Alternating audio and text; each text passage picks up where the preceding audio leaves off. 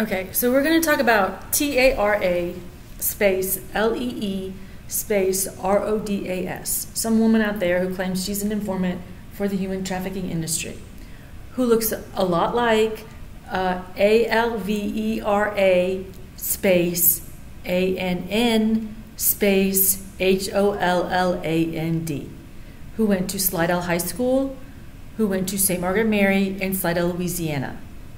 She supposedly uh, moved to Houston because Donald, her father, worked for Chevron as a, a, a oil engineer or something, a civil engineer for Chevron. She moved to Africa briefly, at least, um, where she became a spoiled little brat because they have guards and maids and chefs and things to take care of the uh, engineers' families in Africa. That was after she um, hmm, broke in to the lab. I was working as a vet tech, taking care of an ape with Anna Nicole Baskin and Anna's father or foster father or something. I don't even remember his name. So I was the vet tech, Anna and Alvera and his her father.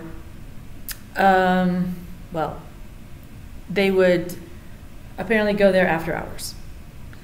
Um, Alvera looks a lot like T A R A space L E E space R O D A S.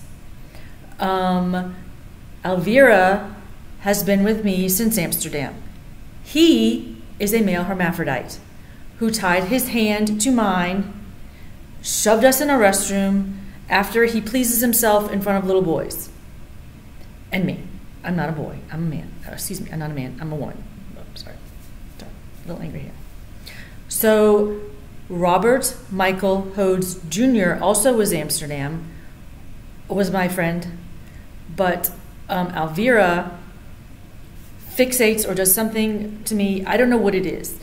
He cannot get past the fact that he's not me, that he's a fucking man, and he won't leave me alone.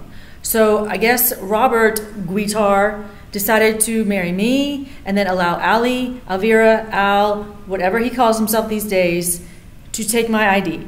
So there's this T A R A L E E R O D A S, which is just too similar to H O D E S.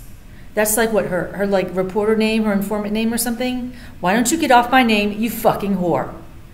And if it's your man who had his dick removed because you're a rapist, pedophile, motherfucker, you get off of that human trafficking shit. You stop claiming my fucking traumas. Get Guitar the fuck away from me. Take Robin and your whores with you.